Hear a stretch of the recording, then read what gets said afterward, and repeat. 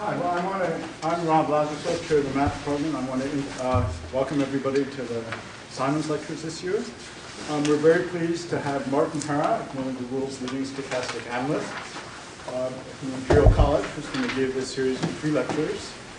Um, Professor Hairer got his degree from uh, the University of Geneva in 2001, and um, since then, as I'm sure everybody knows, he's won many prizes. He won the Whitehead Prize in 2008, the Fields Medal in 2014.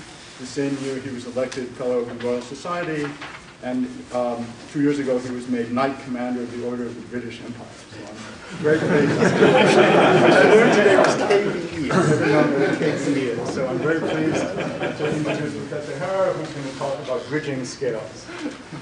Thanks. thanks for the introduction. Um, and thanks for the invitation to give these lectures. Pleasure to be here again. Um, so I thought, so today the plan is to give more of a colloquium style talk. Um, it's going to be more sort of motivational for the subject uh, to give you an idea of where these objects kind of come from. Um, so to start off, first things first. Oh, um, so in probability theory, so of course probability theory as a mathematical subject, um, it essentially deals with somehow transforming probabilities, right? I mean, you essentially assume that you're given some probability measure on some probability space somewhere. Uh, and then you actually start constructing all sorts of random variables on that space. Uh, and you might be interested in the law of random variables. So you essentially can transform probabilities mostly, um, which obviously begs the question of, you know, where do they come from in the first place? A priori way of assigning probabilities to things. Um, and there are essentially two principles that allow you to do that. And the first one, as usual, is symmetry. And that basically just says that, you know, if you have a, if you have an experiment in which you don't have enough information to be able to predict the outcome uh, with certainty, and you have several possible outcomes that are distinguishable to you as an observer, but that are equivalent as far as the mechanism that produces these outcomes are concerned, right? Um, then it's natural to assign, sorry? They're equivalent or inequivalent to you? They are inequivalent to you, so you can distinguish them, but the mechanism that produces them cannot distinguish them. Okay, and then it's then it's natural to assign the same probability. Okay, so the example is a coin toss. Right, so if you you toss a coin, comes up head or tails, you can distinguish between head and tails, but the mechanism of spinning the coin doesn't see whether it's head on one side or on the other side. Right? So, in those kind of situations, you want to assign the same probability the two possible outcomes. If we have six possible outcomes because we roll a die, you would assign the same probability to six possible outcomes. Um, of course, it's slightly trickier when you have infinitely many possible outcomes. Um, and the second guiding principle uh, is universality. And again, you all know one specific example of universality, uh, which is the central limit theorem. So what does the central limit theorem tell you?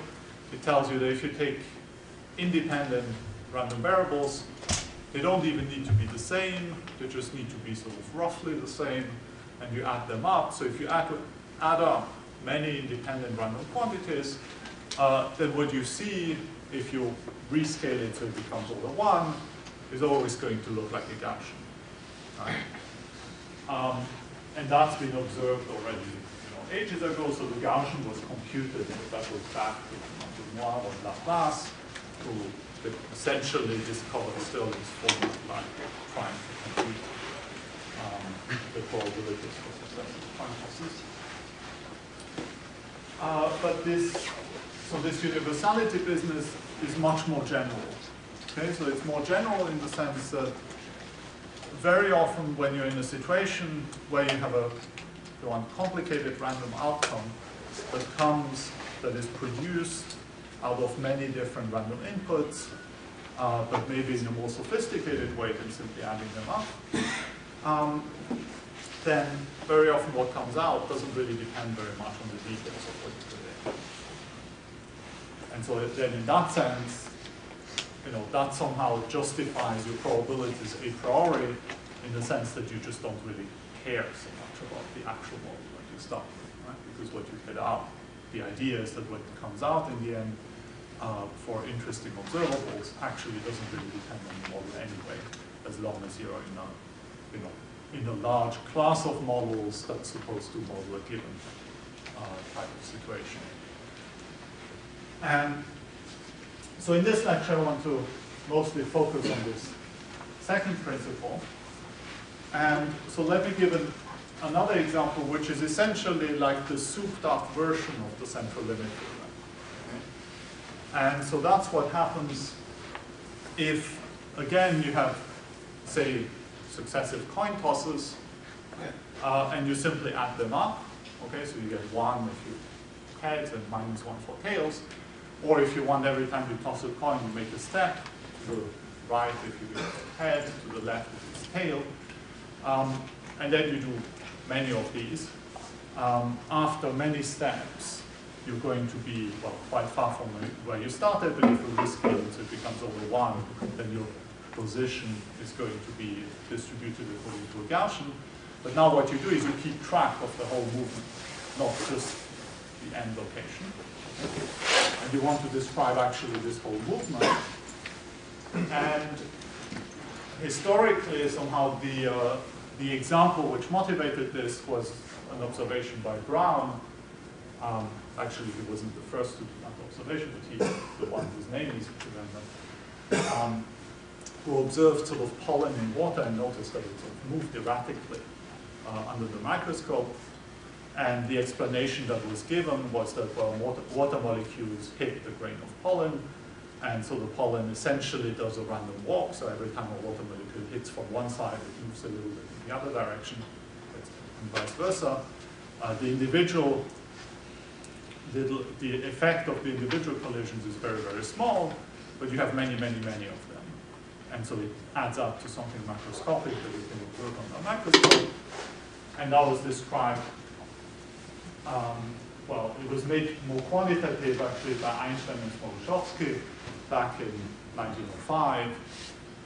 Um, and, well, what they saw is, also what Einstein and Smoluchowski did is that they, they argued that a good way of describing this was given by the heat equation. So, so what does the heat equation model here? The heat equation models the probability density of observing that uh, little grain of pollen at a given location at a given time. Okay, so that gives you some, some function that integrates to one, which somehow spreads out in time because the pollen will, sort of on average, move further and further away from the starting point and the way it spreads out is described by the heat equation. And more or less simultaneously, so that's Smoluchowski, by the way, so that's actually, I didn't put a picture of Einstein because everybody knows what Einstein looks like. so the, uh, about the same time, actually a little bit earlier, Bachelier, and there are not many pictures of him, that's pretty much the only picture you can find on the web. Um, what he was interested in was the evolution of stock prices. And so then he told a story which was almost identical, you know, to the story that explains Brownian motion, uh, except that now your grain of pollen or so is the stock price, and the water molecules that hit it are people buying and selling shares. Right? So every, time every time you buy a share, you create a little bit more demand, so the price will go up. Every time you sell it, uh, you create a bit less demand or price is going down, every single trade has a very little effect on the price, but there are many, many trades. And so you see a macroscopic effect on the price, and that's what you see when you look at prices in financial times.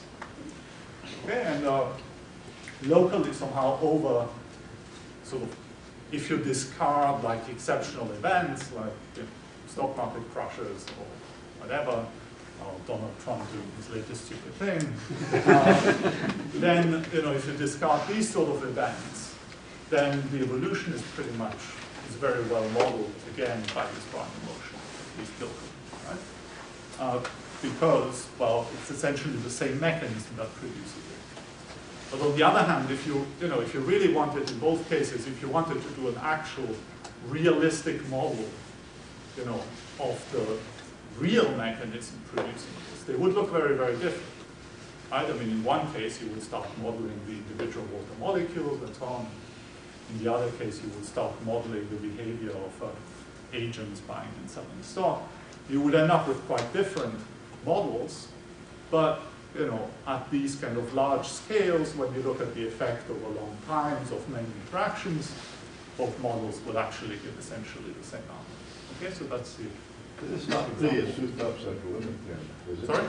This is not a souped-up central limit theorem, is it? It is a souped-up central limit theorem because it's just at fixed time, at any fixed time, it's basically a central limit theorem. Yeah, right. Right? And so it's really just lots of little central limit theorems that are pieced together over every sort of mesoscopic time. Okay? And that gives you the Brownian motion. And that's actually, right, that's why it's related to the heat equation, because the Green's function of the heat equation, the heat kernel at any fixed t, is just a Gaussian. Right? And so that's how it shows up. Um, of course, both of these works had a quite a big impact. So the, uh, the work by Einstein and Smoluchowski was actually then experimentally verified by Perrin, who got the Nobel Prize for that in 26. Uh, and the work was actually basically laid the foundation for sort of modern finance, uh, like the work of Black Scholes, for example. Now, mathematically, Like quote. Good point. Don't, don't- don't blame Nobel for that part. I don't. um, now, mathematically, this Brownian motion, right, so how would you want to model that mathematically? You want to basically build a probability measure on a space of continuous functions, right? Because you want to actually consider the whole trajectory as your random variable. And so you want to build a probability measure on the space of continuous function, which is somehow related to the heat equation, or less in the way that I described. Um, and that's what Wiener did in the late 20s. Okay, so uh, he managed to prove that you can build this measure and that it's somehow uniquely determined by kind of the specifications uh, that come out of the description I gave on the previous slide. Um, and so then what you get is a random continuous function which sort of looks like this. Okay, so that's typical. So you get a probability measure on the space of continuous function. And now if you take a typical continuous function under that probability measure, it somehow looks like. Um, actually, I have a nicer, I have an animated version of this. Right, so now this is, again, it's just one sample from that probability measure. Okay, so you have this probability measure on functions from R to R. You pick one at random. So I draw it here. And then all I do is take that single function and I zoom out. Okay. And so I just show you the same continuous function at larger and larger scales. Um, and what you see is it kind of always looks the same. Right? Which is a very important point. okay, so it always looks the same, not in the sense that the picture is static, right? So it keeps on moving, but in the sense that, you know, if I took a snapshot here, you wouldn't be able to tell me whether I took that snapshot now or 10 seconds ago or in 10 seconds from now. Right? So statistically, it always kind of looks the same. Um, and the point of these two parabolas here is that the way I'm zooming out is the way that keeps these two parabolas constant. Okay, so if I zoom out by a certain factor horizontally, I zoom out by the square root of that factor vertically. Right? Um, so, so what we say here is that so Brownian motion is self-similar with self -sim with similarity exponent a half. The one half is. How do you formulate precisely that it looks the same? Uh, that the law is the same. So you take the law of Brownian motion, you look at the image of that law under the operation that simply rescales. For any event measure? Well, so you, so you just take the push forward of the measure under the Oh, map that takes a function and you know rescales it, and under any value of the rescaling you get the same measure back. The law is the same. the law is the same.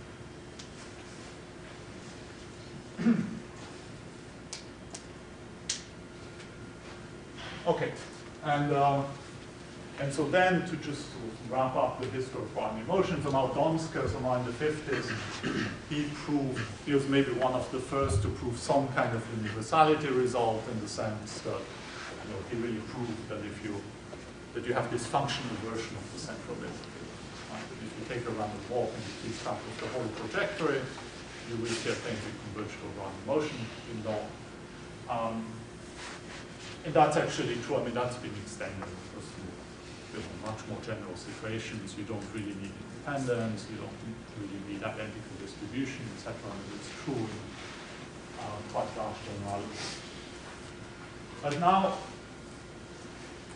okay, so Brownian motion is an example of a random function from R to R.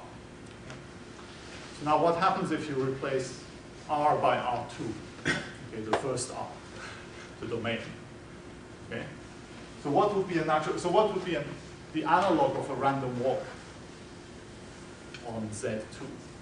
Okay, so a random walk on Z, another way of viewing it is to say, well, a random walk, it's simply a function from the integers to the integers, which has the property that it always changes by exactly either plus one or minus one. Okay, so either step down, and they all have the same probability, all of these functions. So now you could do the same thing on Z2. You, so, so you take a bipartite lattice, like that one, or simply the usual Z2 lattice, that one's tricky. Um, and then you look at all possible functions from this lattice into the integers, which have the property that neighboring values differ by exactly either plus one or minus one. Um, and you need the lattice to be bipartite because otherwise you don't have any such functions. Um, and then you just say, well, okay, so you pick one at random. You give them all the same probability, you pick one at random, what do you get if you make the lattice very large? So that would be a natural two-dimensional analog of the random walk. Um, and here the situation already gets trickier. Right? So first, well, turns out that even in this simple case, there's no theorem. Um, there are other No theorem, what situations. There's no theorem that states, well, do what I just said, rescale, here is the Oh. limiting object. But we know what the limiting object is, okay, so there's a conjecture, and you can check it with the simulations, and it works. Um, interesting, the scaling, the scaling exponent in this case is actually zero. The scaling exponent is zero. So the correct way of rescaling it is you scale the screen, if you want, you, scale your domain, but you don't scale the values. Right? Like in the case of the random walk, we scale the domain and we scale the values by the square root, as in the central limit theorem, where you have to rescale by the square root of n. So here you don't scale at all. So you just you scale your domain, but you don't scale the values. And This this is presumably related to the naive engineering dimension of Right. of the engine. Yes, exactly. So Um, you usually think of a random walk as a map from Z to the grid, whereas you think of a map from the grid to Z. What, what is the relationship? Uh, so here the relationship is just the one that I view it as a,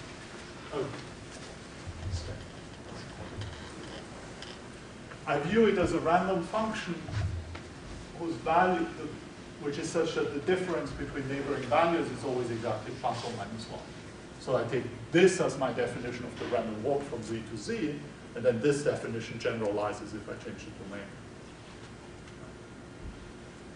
So of course I could also just change the target value, but for the random walk, that's not so interesting because you simply get. So each component there, all just independent, you just get a bunch of random walks. Uh, whereas this generalization is not so obvious what you get. So it's sort of like a random surface, It's like a random surface. Exactly. rather than a random path. That's right, yeah. Um, and so here what you get then is something like this. So this is a color plot, if you want, of the random surface that you get, where color is the height. Um, And you see, well, you see, since I didn't scale anything vertically, you'll think, well, you can't converge to a limit because, well, either somehow you would imagine that if there is some freedom, then the values are going to get somehow larger and larger, and so if you rescale it, you're going to get infinitely big values. And that's true. And so what happens here is that the limit, your limiting random surface, you want, is not a continuous function, uh, it's just a distribution. Okay, so the limiting random surface is really just a random distribution on, uh, on our tool, um, which is, in some sense, it's almost a function. I mean, it's a random distribution which is almost as close to being as functional uh, as it gets, uh, but it really isn't one. So you cannot evaluate it at points. The only thing you can do is take averages. Um, and so you should think this picture, well, every pixel, for every pixel, you take somehow the average over a little box, and then you follow the pixel according to that average. But if I make these boxes smaller and smaller, then the values that I get actually get larger and larger. Can you evaluate on curves at almost all points of the curve? So you can, you can evaluate on curves, and then you get a distribution of the curve. So if your curve is sufficiently nice, uh, so if it's a, say, differentiable curve, uh, then you can evaluate, you can restrict it to a curve, that's well defined. Um, it gets tricky if the curve itself is kind of, unless it's independent. Um, and so here you can, formally you can write down what you're supposed to get. So what you're supposed to get is a probability measure on random fields, which has somehow density e to the minus this kind of energy um, into the, the gradient square with respect to the deck measure, which doesn't exist. Um, and so what I did here is I simply simulated it. So this is a perfectly well-defined object. One can make sense of this. It defines perfectly nice probability measure on the space of distributions, and it's conjectured to be the limit of, you know, most models of the type that I just described, and that's proven for a whole bunch of them, but just not for that one specifically. It's not the one. For that model, so for that example. So for that specific example, there's no theorem that converges, but there are other examples with similar flavor for which there are theorems. Now, in both of these cases, they were free in the sense that what we did is we, you know, cooked up some kind of model from integers to integers, um, and then maybe we put a bit of constraints, and then we just said, well, okay, so now pick one of these at random, where at random means uniform of them. Now, there are interesting systems that are not free. Right? So one of the probably most well-known systems is the Ising model.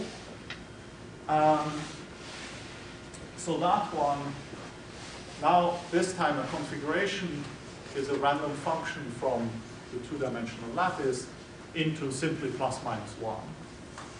Okay, so not into all integers, really just plus minus one.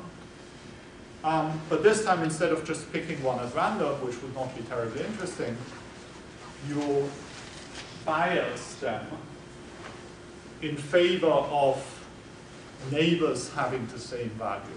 Okay, so what you do is you look at this quantity, so you sum over all nearest neighbors this product, sigma x, sigma y, where sigma is your configuration. And now, if sigma x is equal to sigma y, that's plus one. If it's unequal, it's minus one. Um, and so this quantity is big if many neighbors have the same value, and it's small if many neighbors have different values. Right? Um, and then you pick one of these configurations with a probability which is proportional to the exponential of this quantity. Uh, and now this time you have a parameter. Beta in the exponential, which plays the role of a temperature or the inverse temperature. So beta is 1 over temperature. And so it allows you to interpolate between situations where, so beta equal to zero means that you just pick one at random without caring of what the configuration looks like. And then what you get is something more or less like this. So this is what you get for small values of beta. Uh, it means, you know, essentially it looks close to what you would get if you simply pick, pick every single value of sigma independent. Actually, what you see here is that there is a little bit of structure at small scales, in the sense that neighboring pixels still do have a tendency of having the same value. You have sort of like little patches of yellow and then little patches of uh, black. And the size of these patches somehow depends on the value of beta. Okay, so if beta is really equal to zero, the size of the patches would be kind of one, typically. Uh, as you increase beta, these patches get larger and larger. And then at some point, there's a critical value of beta at which the size of these patches somehow becomes infinite. Okay. Uh, so when you're above the critical value, some sense, everything becomes one patch. Right? It means that essentially everything is either yellow with maybe a little bit of black inside, or everything is black with a little bit of yellow inside. But at, there's one specific value for beta, which is this critical value, where you see something interesting. Right? So you see somehow large yellow patches and large black patches, and there's no typical length scale anymore, in the sense that you have patches of arbitrarily large size, but it's not the case that everything is dominated by just one color in this case. Right? So you still have both colors showing up, uh, but both of them show up in sort of very large patches. And so here, you get again some self-similar behavior. So you can zoom out of this picture uh, and ask yourself again, is there a scaling limit? And I find a scaling exponent uh, so that there is a scaling limit. Here again, because the values are just plus minus one, because if you want to get any sort of limit, what you have to do is again look at the averages locally. And then, since locally it's going to more or less self-average out, then you would have to actually increase the value by something that depends on the scale that you're looking at. So this time, what this means is that this time the scaling exponent is negative. And so in Brownian motion it was a half. In case of that free field in two dimension it was zero. Here the scaling exponent is negative. It's between a minus a quarter minus an eighth. Uh, it's no um, and there is a theorem, but here the theorem is extremely recent. So just from a mathematical, uh, from a theoretical physics point of view, uh, this has been known for quite some time. It basically goes back to the 80s and so on. Uh, from a rigorous mathematical point of view, the theorem goes back to ago. Um, by uh, Newman, Garban, Conrads, and I think there was a fourth. And they showed that this particular model on the square mapping, uh, does have a scaling limit, and there's a characterization of the scaling limit which coincides with what was predicted by physicists.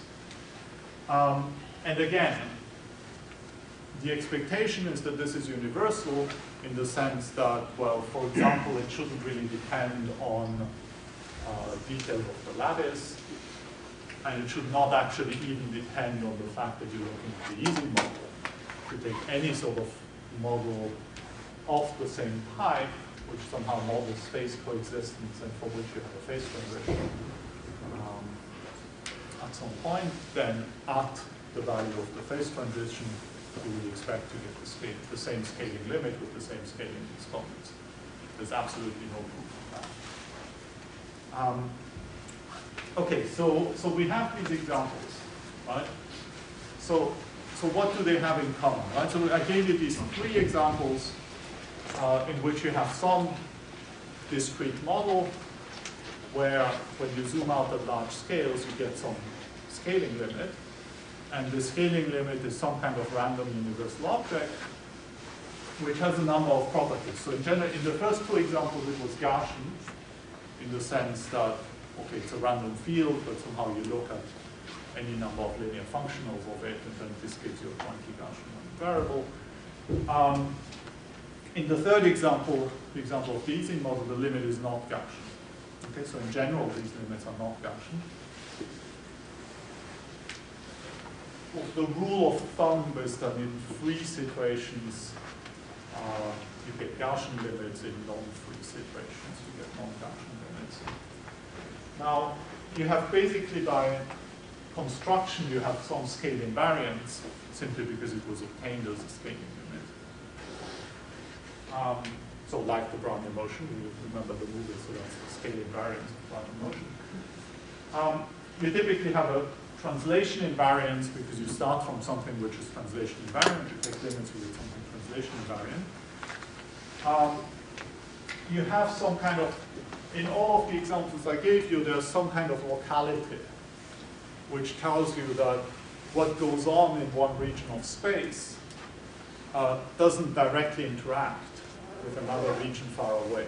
So it only somehow sees what happens in a little neighborhood. Uh, and that can be formalized. And in the limit, somehow this little neighborhood becomes infinitesimally small. And so that's formalized as a Markov property. These are all of these scaling limits. If this, if you start from something which is somewhat local, it should become exactly local in the limit. That means it should have some kind of Markov property, some space-time Markov property. Um, and then in all these examples, actually, you also have rotate, rotation invariance of the limit, which is not completely obvious because you start from something which is not rotation invariant, right? So the limit might somehow remember the geometry of the lattice, uh, but in many cases it doesn't. And so then if it does, if that's the situation, so if you have translation and rotation invariance, well, you know, then it's natural to guess that you would actually have conformal invariance. Right? So in some sense, scaling and rotation invariance both locally. Uh, and then it means that you have conformal invariance. In two dimension, that buys you a lot. Right? So in two dimension, of course, the conformal group is very big. Uh, so knowing that you have conformal invariance you a lot. And so in two, in two dimension, quite a lot is known about these objects. So that's, for example, why for the 2D Ising model, uh, some sense, everything about that limit was already conjectured in the physics literature by essentially exploiting conformal invariance.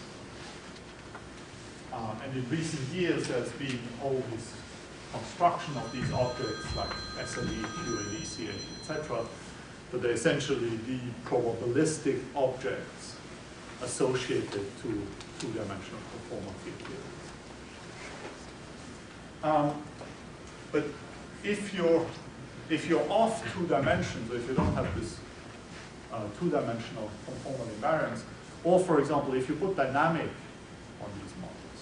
So for example, the Ising model, uh, I gave you a static picture. You just have a configuration which depends on Z2. There's a natural way of putting evolu time evolution on this picture. So you have an evolution in these kind of models. Um, and in that case, for example, even for the two-dimensional Ising model, it's not known what the scaling limit is if you add time evolution. It's not even known what the exponents are. So you can do simulations of, for example, I mean, if you go to the Wikipedia page for the Ising model, it will give you a value for the exponent, but it's not a rational value, and it's a value that you just got by numerical simulations. Okay, so it's not a value for which there's a conjecture that the value is this. Can you say what the time evolution is? Um, so for example, one thing you can do is you can simply, uh, at every site, you have a clock that somehow rings at Poisson distributed times, and when the clock rings, you try to flip the value of the spin at that site. But what you do is you look at the how much the energy changes, and then depending if the energy, if your flip makes the energy decrease, then you just do it. And if it makes the energy increase, then with a certain probability, you discard the flip. Um, and you choose that probability in the right way so that the measure uh, broke down is invalid. So that this model is really stationary for that evolution. Okay, so that would be one natural evolution, it's called Glauber dynamic. There's another evolution where you put clocks on bonds, and instead of flipping the spins, you exchange neighboring spins, and then again, if the energy decreases, you do it, if the energy increases, you do it only with a certain probability, you choose that in the right way. Um, and for example, with these two kind of dynamics, the scaling exponents that you would get, get as somehow limiting space-time dynamic would be different. So they would not give the same time scaling exponent, even though at fixed time they're the same. Um, or for example, if you're in three dimension, if you take the Ising model in three dimension, again, there's no theorem uh, about the scaling limit, there's no conjecture even about the value of the scaling exponent.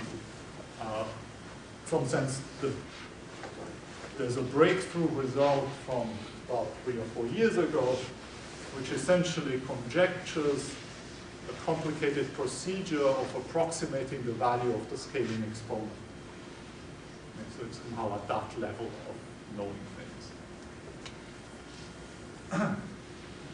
okay, so so the conclusion, so the takeaway message here is that there are some specific situations where these scaling limits are quite well understood, and there are many other situations where they are very, very poorly understood. Okay, so that's somehow the take-home message.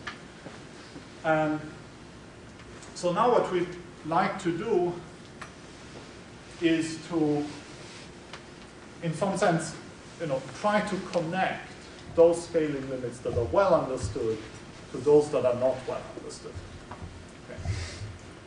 And so the idea here is to look at what's known as crossover regimes. And so what's a crossover regime? Well, imagine that instead of, in all the examples that I showed you, you had one fixed model.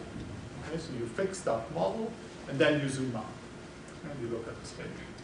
So now instead of taking one fixed model, you take a whole family of models. Okay, so you have a family of models that depends on the parameter. And there's one specific value of the parameter for which you understand the model well. Okay, so say there's one specific value of the parameter for which the model lies in one of these Gaussian universality classes, so that if you zoom out, you see something Gaussian. Okay, um, so, so here is a cartoon of what would go on, right? So Imagine here you take some physical situation. Uh, so here that's the example of somehow one-dimensional interface fluctuations, but it doesn't really matter. Um, so say this, a point on the screen here is a model. Okay, so every point is a different model. The evolution here is the operation of zooming out. So these scaling limits are fixed points under that evolution. Okay, because they have the property that if you start from a scaling limit and you zoom out, you get the same thing back. Okay, they don't change. Uh, so imagine now you're in a situation where you have two such fixed points. One that you understand is this one, uh, because it's described by Gaussians, and one that you don't understand, because it's not described by Gaussians and it's complicated. Maybe you don't even know the scaling exponents.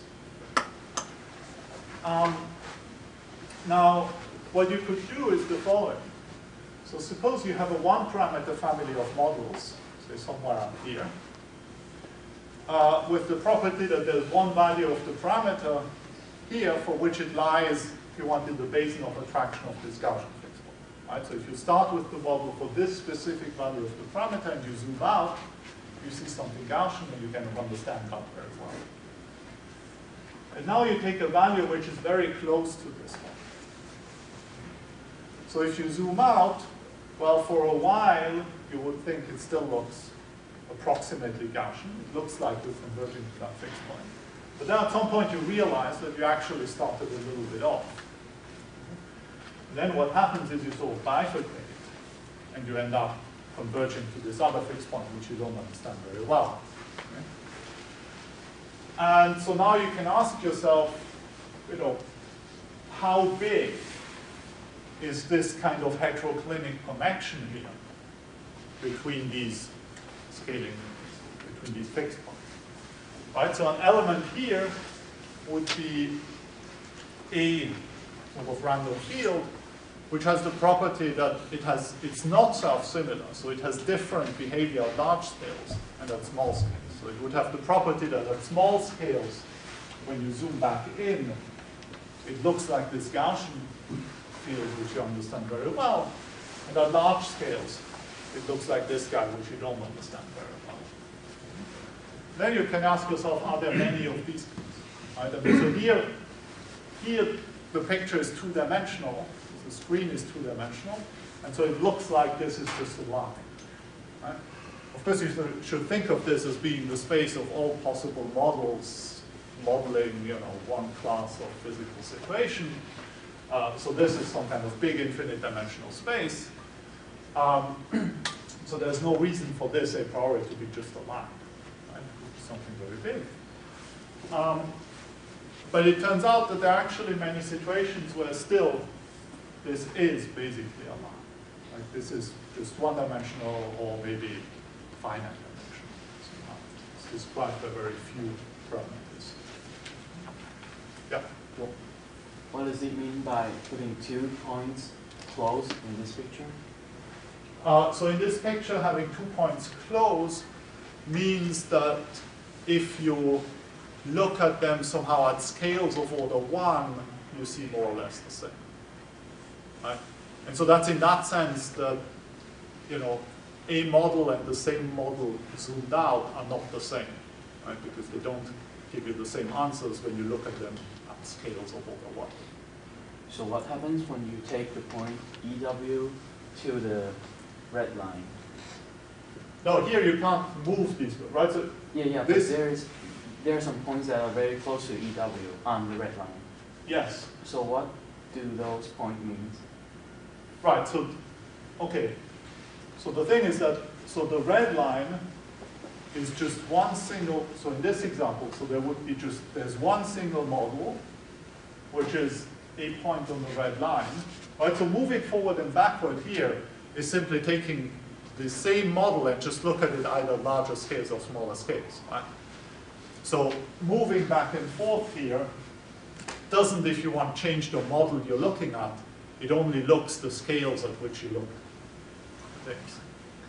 So what it means here, so the fact that it, that at small scales it goes to this fixed point, it means that this is a model which has the property that if you look at it at very small scales, if you sort of go and take a microscope and sort of zoom in into the behavior at small scales, then it looks very similar to the behavior of this guy.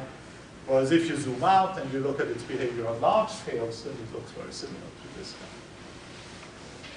Right, That's what it means. How do you see things in this space? Is there some functions on this infinite dimensional space that you use as coordinates? How do you see models? Okay, so here, so you, so typically, if you want to formulate anything like a theorem which somehow shows that a picture like this holds, of course you would just restrict yourself to some class of models, and then you would have a bunch of parameters that parameterizes these specific classes.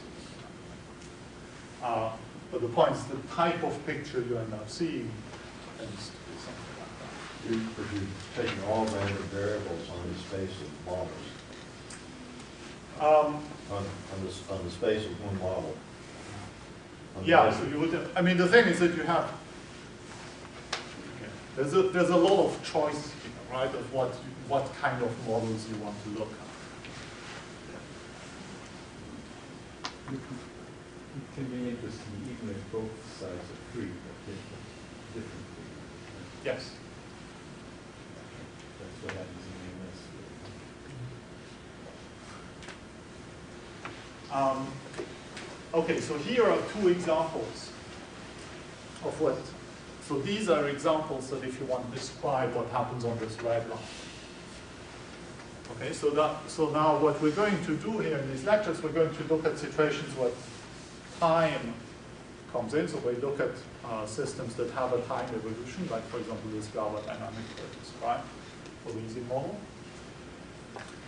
Um, and then it turns out that these crossover regimes, if you're in the situation where the small scale behavior is described by the free field, then these crossover regimes tend to be described by stochastic PDEs. Okay, so, so here a stochastic PDE, well, okay, so let's take the first example. Uh, so in the first example, so you have your random function h, which depends on one space variable x and one time variable t. Uh, and it solves an equation which is a heat equation plus some nonlinear term plus this psi here, uh, which represents space-time white noise. Okay, so you should think of that psi guy as being a random term which just gives independent random variables at every point in space-time. It's not like your second example. Is this like your second example? The Uh, random right. function? So the, ra- the second example would be this guy. So if you take without the nonlinear term. So if you remove the nonlinear term, then what you see here is essentially a natural evolution for the free field. Free field being the second example with the, the hexagons, Yes. colors. Yes, and the, this gets image. Does the zeta? Uh, so, no, so it would be, so the solution to this equation would be that. would be a natural time evolution for that, what we conjectured to be a natural time evolution for that. Because, for example, the way I can take a time evolution in that case is I can take at any, so here the natural time evolution would be, uh, you have clocks on every side. If the clock here rings, then if these three values happen to be the same, then I can change this value. Just Right, so if the values here are three, three, and three, that means the value here has to be either two or four. And so if it's four, you make it two. If it's two, you make it four. Okay, so that would give you a natural uh, time evolution on these kind of random configurations. And what you would conjecture is that if you take the scaling limit of that evolution, then you just get an equation like this. Well, well, because x will be two-dimensional. It will be like heat equation in two dimensions plus this y times.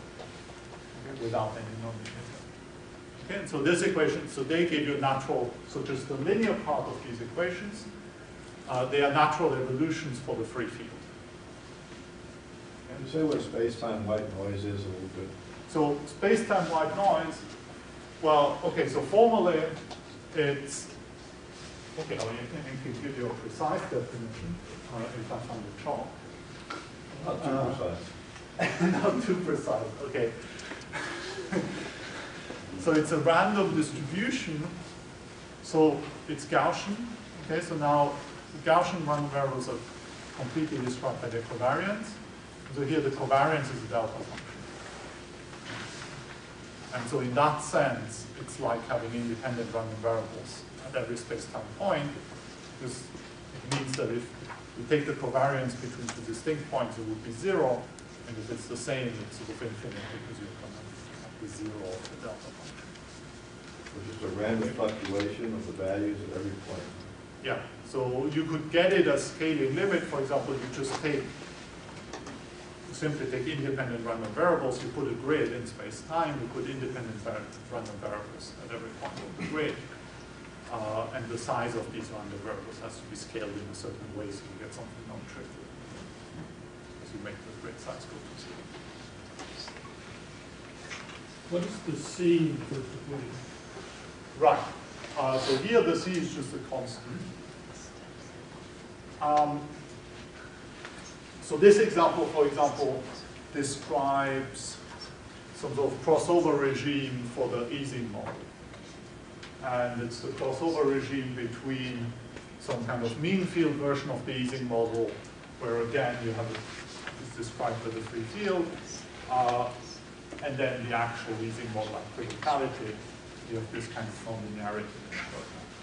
And here, this is really two equations, so the blue bits are optional, and whether you have the blue bits or not, that depends on whether you take something like the Glauber dynamic uh, or something like the Kawasaki dynamic, which is the one where you exchange neighboring spins instead of flipping spins. Okay, so with the blue bits corresponds to exchanging spins, and without corresponds to flipping spins. Um, okay, so so now the conjecture here is that these kind of objects have themselves type of intercepts. Okay, so, so the conjecture, so these guys have basically all the properties that I wrote down on the previous slide, except for the scale invariance. Right, so they have translation invariance, uh, rotation invariance in that case. Um, but they do also have this kind of space-time Markov property. So they have a kind of space-time Markov property. And the conjecture in both examples, for example, would be that these, the solution to these equations are the only object with these properties, which furthermore is such that at small scales, uh, if, if you zoom in, it converges to the free object, which is the one where you remove the nonlinearities.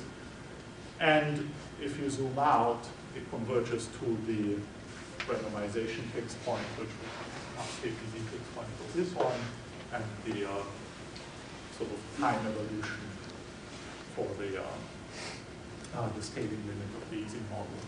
You said jargon, normally, you know, does that mean zooming out? You said So- normalization figure, does that mean zooming out? Yeah.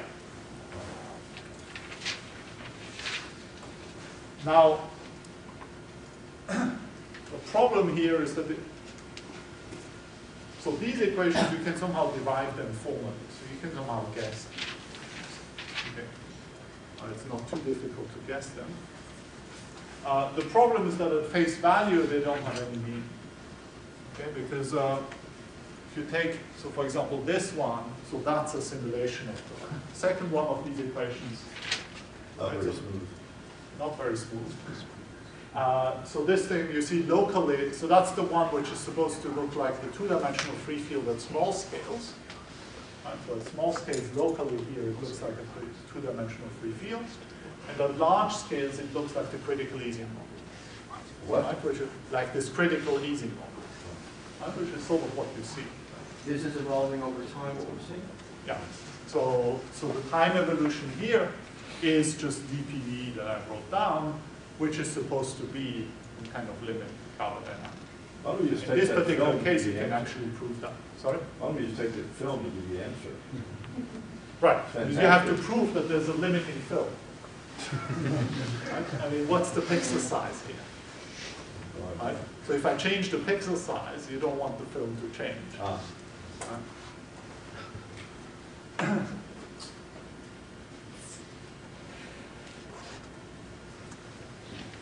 so you see, so the, that film was a simulation of this equation here uh, without the blue bits. And well, as you said, it doesn't look very regular, so it's actually not a random function, it's a random distribution. Uh, but the equation here involves the cube of the solution. Right? And so then that's clearly kind of a problem. Uh, so it's not clear what it actually means to be a solution to this equation, because the solution is not a function, and so I'm not allowed to take the cube. you can't cube the distribution, is that what you mean? No, yeah, you can't cube a distribution. So, yeah, maybe yeah, special cases where you can multiply distributions, or, you know, you can give crazy interpretation of a distribution or something like this, but then you get a crazy abstract object that doesn't represent anything, or doesn't really tell you. Um, so it's not clear what this means. And so here, for example, the kind of theorem you can show, and the right, so the reason why the whole thing is very irregular is because this guy is very right? Because this guy was some kind of scaling limit of uh, putting independent random variable at every point on the grid, and then taking the grid size to zero. Right, so this guy is a very irregular random distribution, and because of that, the solution has to be very irregular, despite the fact that there's some smoothing that comes from the heat equation. Where did these two equations come from? Why these two?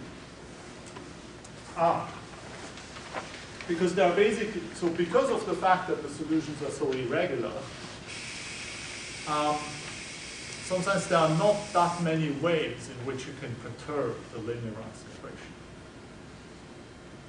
And so if you take this equation here, is the linear equation, there are not all that many nonlinearities that you can write down, which actually have a meaning.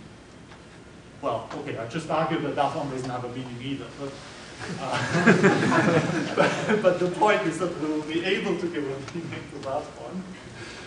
Uh, but there are not many that you can even, you know, even by sort of closing your eyes and praying, uh, give a meaning. So in this case, in two dimensions, there are quite a few, but in three dimensions, if you furthermore impose uh, symmetry, you know, that this guy is supposed to be symmetric and the phi goes to minus phi, which is true for the Ising model, uh, then this is pretty much the only nonlinearity actually write down. There just, aren't any others. Say you're gonna give a meaning, Yeah. that means you're gonna, or is it gonna be in the context of some kind of unique solution, or something completely different? Uh, it's going to be something a bit different. Because, so you can define some sort of notion of weak solution for this. Uh, but the problem, okay, so not the classic, I mean, the classical notion of weak solution doesn't really help because testing this against the test function, well, you know, you can't undo the Q by doing that, right? It would help, it helps for sort of giving meaning to these derivatives because you just throw them onto the test function. That doesn't really help you for the Q. Um, but there still is some sort of notion of weak solution for these, but unfortunately it's too weak, so it's, it's not known whether they actually characterize the solution. So it's known that the solutions are weak solutions, but it's not known whether every weak solution is a solution in the stronger sense than and which is in some sense the correct. I mean, there's a correct notion of solution. And it's correct in the sense that you can get it, for example, by, you know, so this guy is very irregular, so you replace this guy by any sort of smooth approximation of white noise. Okay? The only constraint, pretty much, is some kind of moment bounds and the fact that it's uh, stationary, right? That you don't break translation invariance, statistical translation invariance. Okay, so you take pretty much any approximation of white noise, which has these properties, and then the claim is that there is a way of adjusting the value of this constant so that when you make this uh, approximation converge to white noise, then the value of the constant you have to take will blow up. Uh, but there's a way of making it blow up so that the solutions actually converge to a limit uh, and that it's always the same limit. The limit is unique. Okay, so that's the state. So in that sense, there is a there's only one decent notion of solution here, which is the limit that you get by replacing this by pretty much any approximation you want. Passing the limit. Sorry? Where do you take the limits? Oh, so the limit is just in some space of random distributions. Right, so, and actually, it's even- in terms of the randomness, it's even a limit. So if you have a convergence in probability for the noise, then you actually get convergence in probability of the solutions over the same probability space. Uh, and then the convergence of the field is just in some space, some Taylor space. Okay. So here's a general statement of this. Okay, so there's a very general statement of the type. So you start. so that's a kind of synthesis of a bunch of works uh, with some of them with these co-authors. But you take pretty much any equation more or less of the type that I wrote down. We can have more complicated nonlinearities. There's some kind of power counting that has to hold. So the very important condition here is that the equation needs to be subcritical. Um, and, okay, I'm maybe going to explain in the uh, third lecture what subcritical here means, but it's essentially some power counting kind of condition. Good, And that's good. means good. and it's in that sense, for example, for this nonlinearity uh, I mentioned earlier on, they are very, so depending on the dimension and so on, so the higher the dimension, the more singular the thing becomes, and the less subcritical nonlinearity you have. Um, and then the theorem is that, well, you know, these guys always have a somewhat unique notion of solution, um, except that it's not completely unique. So the solution though is parametrized um, by some, well, in general, it's a finite dimensional nilpotent D group. Uh, in practice, in many cases, it's just one constant or two constants or something like this. Okay, so they are, think of them as being parametrized by a bunch of constants. Um, right, so the thing is that the, so in the sense that what I mentioned earlier, right, so you have your equation, you somehow regularize it. If you simply remove the regularization, the thing doesn't converge to limit. So in order to make it converge, you have to actually adjust the values of some constants. So if you adjust the values of the constants in the right way, and it's in a divergent way, then you get a limit. Um, except that there are, you know, maybe more than one way of adjusting the constant, and so you could get more than one limit. Right? But the possible limits that you get, they are parametrized by that. Right? So there's basically, you have a group that acts on the whole space of right-hand sides for your equation, and you have to simultaneously send your regularization to zero and act on it with that group, okay? And then you get a limit, but the limit is still, you know, modulo the group element, sort of a finite group element.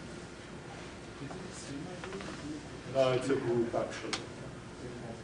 It's actually, it actually has an inverse. Do you think of this as the analog of scaling? Like, you scale something and you scale something in the image? Not quite. It's really more like the analog of, remember I told you the example where you had a one, in this crossover regime, you have a one parameter family and you have to send the, you send the parameter to the specific value which you have the Gaussian model.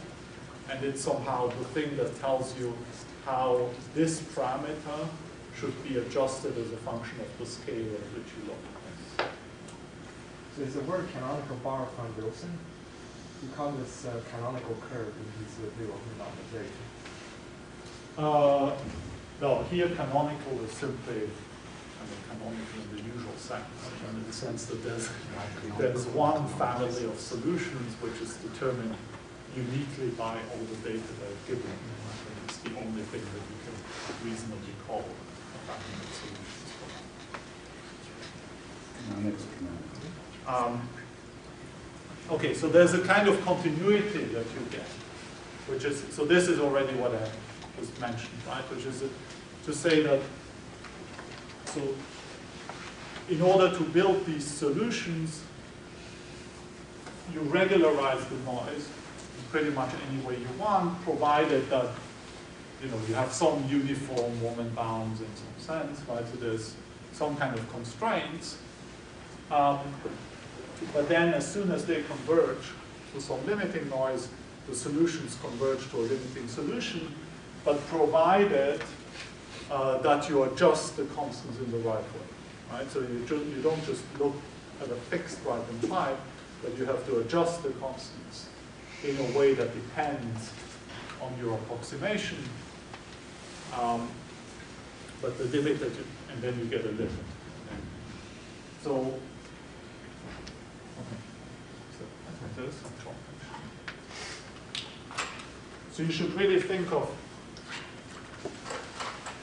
something like this, right? So you, so say you have a, a fixed epsilon, so you, you approximate your noise by some sort of epsilon uh, smooth noise, and now this curve here, an element of the curve is a solution, and the different points on the curve corresponds to the solutions for different values of the constants that appear in the right-hand side of the equation, right? And so now what happens if you send epsilon to zero, this curve, I claim somehow converges a limiting curve, which is parametrized, right? So somehow this is parametrized by your elements G. Uh, but it's really the curve that converges to a curve. So if you simply fix the values of the constants appearing in the right-hand side of your equation, and try to send epsilon to zero without adjusting the values of the constant, then you might, you know, this point might get mapped here, and then it might get mapped here, and then it just runs off to infinity. Right? So it's in that sense that you have convergence of the family of solutions as a family. But you don't have convergence if you simply fix the constants in the right-hand side of the equation and send the regularization to zero. That would just send you off to infinity. Okay, so that's what I mean by this. And the continuity here is really a continuity of you know, these curves.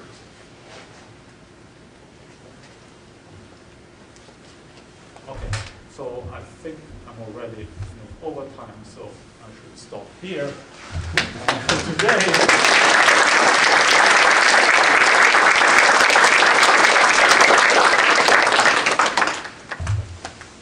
Are there any questions? I have one. I mean, this, you, is is this like a general pattern to consider in this kind of solution?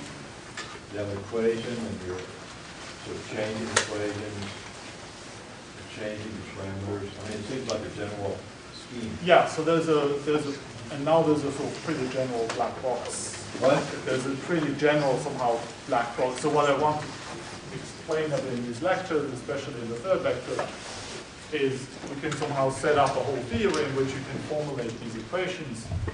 Um, and then you can, in some sense, everything behaves almost like traditional kind of parabolic PDE theory, deterministic kind of parabolic PDE theory.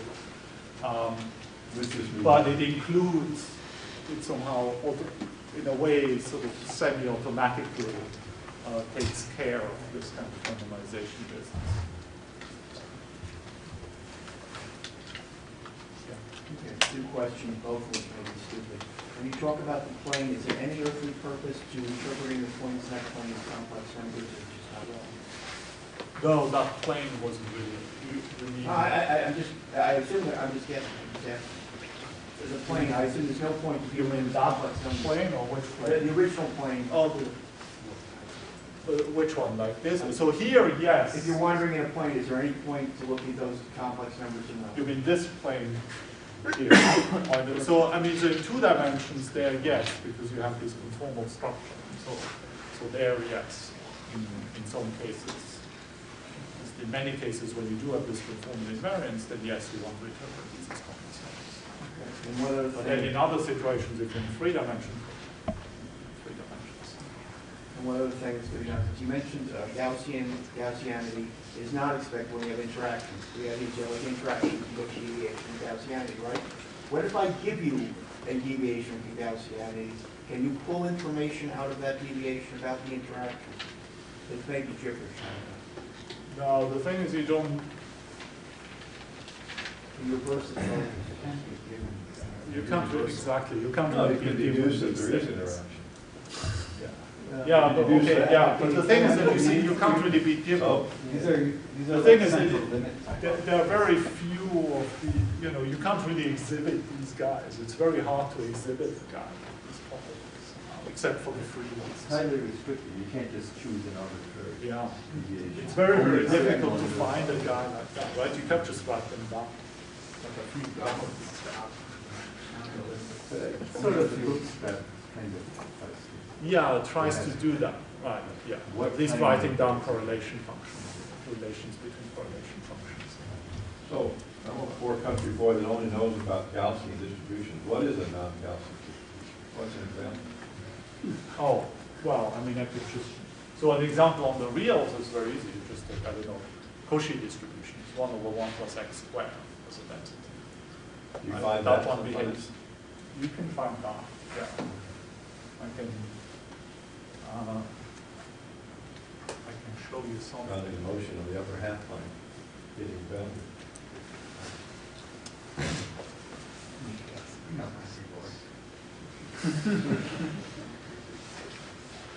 The country boy like Sam Irving is a country boy. Is that Okay, one? So Is that motion? process here, if you look at the law of increments, uh, it's essentially given by a Cauchy distribution. And so the reason why you see that it's very non-Gaussian is because you have this discontinuities form. Yeah, what? This discontinuities, right? So you see Ah. that sometimes things are sort of almost flat, but then they make big jumps. There's a big jump. Okay, and that's, that shows you that the behavior is very much not Gaussian. because you have, so if you look at the difference in values between nearby points, mostly they're very small, but sometimes they can get really large. Whereas Gaussians have a well-defined size, somehow don't really change much. Cities to are not using you still have conformal variance in higher dimensions, or is it? Uh, it always depends, yes. So in, in gen, for example, for Ising model and so on, yes. If you add time, then that doesn't really help all that much. You better turn this off. The- the- Martin, uh, the, the, big difference when you have, uh, when you have those uh, fat tail distributions is that the Gaussian distribution, they are symmetric. If you, if you turn them around, they get, they keep the same shape. The, those with fat tail, they are very, they have characteristic direction in which you have those extreme moves. And in here, uh, in your, your example, you have, you know, the time and the space are very separated. And so you can have like a Brownian motion in with, uh, with uh, whatever you could have taken a Levy process or something like this for the, for the, for, for the, for, for, but if you are in higher dimensions, uh, then you will have to define in which directions you have those, uh, those fat tails because elliptic distributions behave very, very differently from product of uh, fat tail distributions, etc. So, so essentially your, your analysis seems to identify those, uh, those, uh, those characteristic directions of non-Gaussianity. Um, well, okay, so here, okay, so, so that movie I showed with the, where the Cauchy distribution showed up, it's nothing to do with this talk, right? So it was not a simulation of one of these units. It was different, it was actually a scaling limit of some other sources where you have a non-Gaussian scaling limit, which is still free in some sense. Uh, and it's not described by one of these stochastic PDEs. So these stochastic PDEs, um, you don't really have anything fat tail showing up. So these, these solutions, they locally look Gaussian, right? So they are sort of perturbations of the Gaussian response. So they, are, they locally look like a free field, so they locally more or less look like Gaussians. So they don't really have fat tail. Well, let's thank uh, Professor Hairer again.